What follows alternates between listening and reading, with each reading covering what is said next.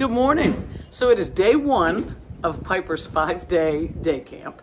And we started off by taking a short walk where I just did a little bit of leash pressure, wanted her to see what it felt like to have a pull on the leash and how it relaxes when she comes near me to start getting that feeling that, oh, there's tension, but when I move toward my person, that tension goes off and it's more comfortable. So really just some basic stuff. I wasn't doing any uh, training, any real hardcore training, just getting her acclimated and us getting to know each other. So she is here on my picnic table, which I bought strictly for this purpose. The first thing that we're gonna begin training on is what I call the downstay. The downstay means that we're teaching her to lay down with the command down, but she is going to learn that when she lays down, she is to remain there until she's released. So it's you don't have to say the word stay or wait or you know walk around with your stop signs up or anything like that. Over time, she will get really, really good at just staying there like she's doing now. She makes it look like I've done something. I haven't done anything yet. So she learns that it is her job when you put her in a down to stay there no matter what temptations, no matter what distractions, until you release her. I use the word break, so that's what we'll be using. So there are two commands involved here down and then break. We don't say the word stay. And the reason we don't say the word stay is because if we're giving her that additional command, stay or wait or whatever it is, then it is us who is holding her in that position. That's not our goal. This is not a stay exercise, a stay exercise. This is a chance for her to understand that she's waiting for the release. It gives her context. So first we work on down. All we want to do is teach her to lay down when I say down. Down, down, down, down. Once she gets that, then I'm going to try to hold her in that down position for just a few seconds. And then I'm going to say break and reward her. So she has two commands, one at a time. We, we layer them together. And she learns that when she goes into the down, she is waiting for the release command. So that builds impulse control. She is the one who is keeping herself in the down. She builds impulse control, which helps us in every other aspect of our lives. And the down becomes a job for her. So it focuses her brain, which relaxes her. And it allows her to stay connected to you. So the downstay, you can you'll probably be able to use it at home, in the house, in the yard by just going down. And she'll get to a point where she lays down and waits for you to release her. But the best use of it is actually on leash.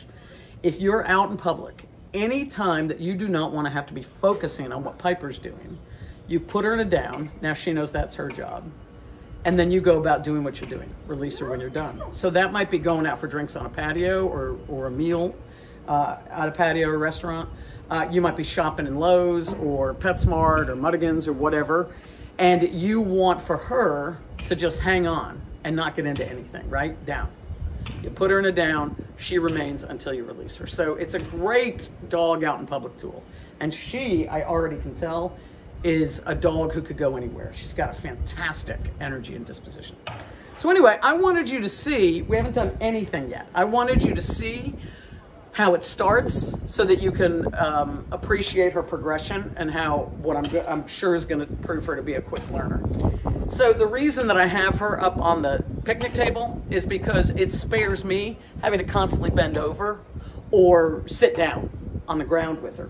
When we are up here, we're projecting leadership energy. When we bend down or we're sitting down on the floor, um, we're more like a, a litter mate. Now, that is not to say that I don't sit on the floor or bend down all the time. I do. But this is easier. So, she's still small enough for it. So, here's what I do. You ready, baby? Now, she has a fantastic sit, but I am not going to give her that command when I'm teaching her the down. When we teach a dog to lay down by making sit a prerequisite, what we set the dog up for is the possibility that down the road, when you tell her down, she'll lay down for a minute or less, and then she'll pop into a sit, thinking that she's being compliant because she knows the two as sort of one continuous command. So, if she sits of her own volition, that's great. I don't care. I don't pull her out of the sit necessarily. But I do not say the word. Now, it is easier to teach a dog the down if their butt is on the ground, or in this case on the table. But I'm not going to give her the command. All I have to do, I have treats in my right hand, little bits of treats. I'm luring her. So you see, she sat on her own. Now she's not down all the way, so I'm holding this treat right here. Notice I'm not giving the command. I do not name it until I reliably get the, the behavior that I want, until she starts going down more often than not. Now, you see, she's not, there she goes. So I give her a little bit. I'm just giving her crumbs. I just want her to stay down. Good. I don't get crazy excited. She pops up, that's fine.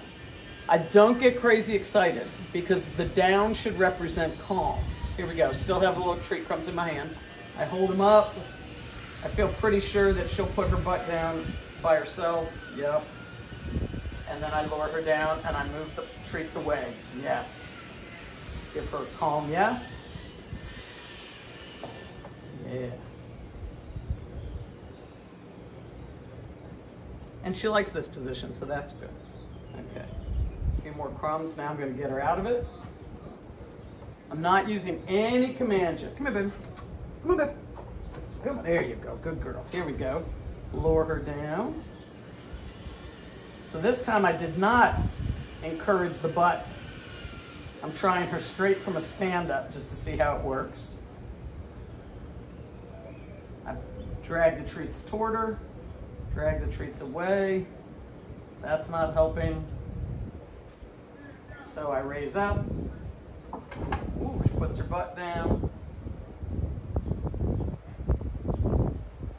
Again.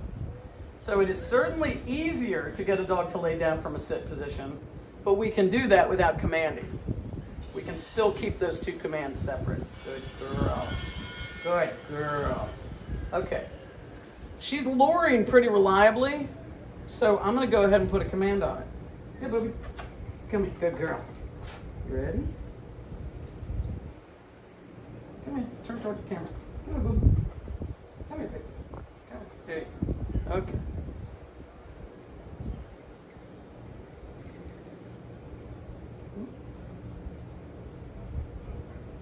It's a good thing I'm getting ready to name it because she's getting tired.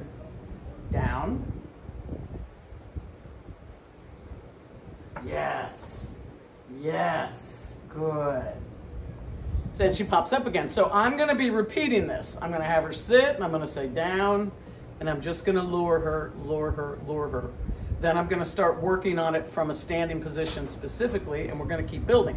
So you'll get a video later today that shows you how she's come along since she's been here. But this is the very beginning. She's really smart, and oh my goodness, good energy, good disposition. All right, over now.